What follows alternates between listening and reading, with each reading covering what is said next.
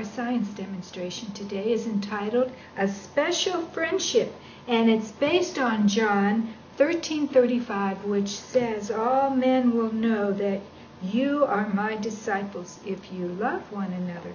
Now, the only thing you need for this demonstration is a ball of string, some weights, and some supports.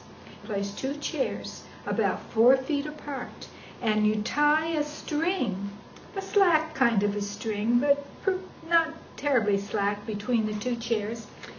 And then you tie to that string different lengths of other strings that have been weighted, and in our little demonstration we are weighting them with marbles. So at one end of the string you tape a marble to it. Now the lengths of these strings are to be uh, varying, but usually between two and three feet works the best. But two of them you want to be equal length. And then you suspend them from that string that goes between the two chairs and you're ready to begin. On our little demonstration, each string is of a different length, except there are a couple that should be pretty close together. And that string is this string and this string. They're about the same, same um, length. Now, what I'm going to teach you, remember our text said that people will know you, that you're Christians, if you love one another. Now, this particular string here has a larger marble on it, and I'm going to pull it back and start it swinging. And I want you to think about that as maybe like the love of God. Okay, now this string has a larger marble on it, and I'm going to pull it back and it's going to start to sway. But what I want you to watch, keep your eyes on the two strings that are outside of this first marble that I'm going to start, because they're of the same length. You can look at the other marbles and see what's going to happen to them. But um, let's see. Now I'm pulling this back and giving it a good movement. And now everything is starting to move. All of the marbles are starting to move. But some of them are moving in different, um, they're not in sync with the one that has started. However, these two outside ones are moving together. Do you see that? The other ones are having their own path, but these two ones that have the same length are moving together. Now, that is a little bit like you and I. When we have the love of God in our hearts, we kind of bear one another's burdens, we work together, we all have the same love of God in our hearts and we're moving in sync, so to speak. These other ones, um, they're not quite in sync. Now, maybe we should slow these down and try again because we're not getting a lot of movement here. But if you notice, these two outside ones are staying together. This one's a little off, this one's a little off. Everything else is a little off. Now I'm going to ask Ashley if she'd like to help me slow these down in fact, even stop them very carefully. See if we can stop the motion on these. And we're going to give it another try. We want to pull this straight back. And this is a larger marble. They're all taped to the string. We, we pull it straight back to give a lot of inertia and straight back and let it go straight.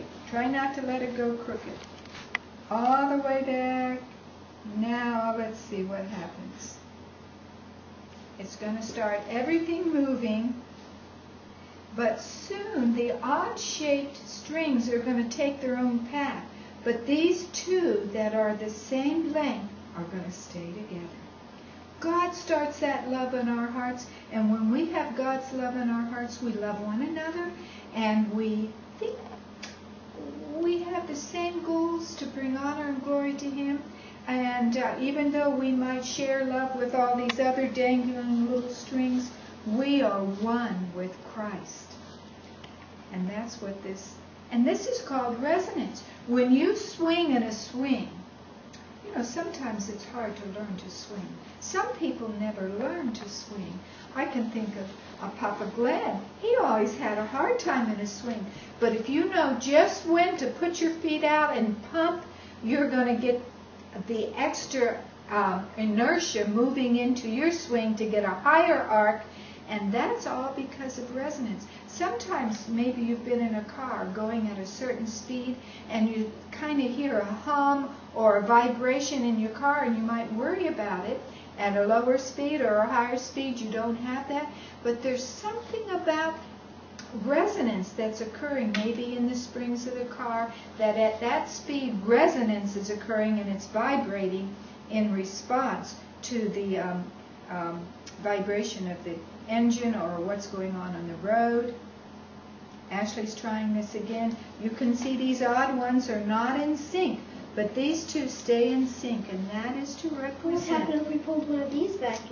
Well, if we had this the exact same length as this one, mm-hmm. they would stay in sync.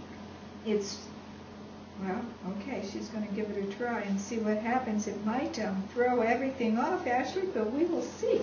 This is what a scientist does. They explore and they try um, new things. Oh boy, that's swinging these even more. See, now we're getting a, uh, a stronger swing on those. But it's not in sync with this one. Well, this that one's going slower than this one. Yes. And it's also a different length. You want to try them both at the same time? okay. Let's see what happens. Now they're in sync. Well, they're moving differently because the lengths are well, different. Slightly, yeah. Hmm. Okay, that ends our little science demonstration about resonance and God's love in our hearts. When we have that, we are united with our brethren and we work together. So I hope next Sabbath you'll be with us for another science demonstration. I have no idea what, but I'm sure it's going to be about God's wonderful world. Bye bye.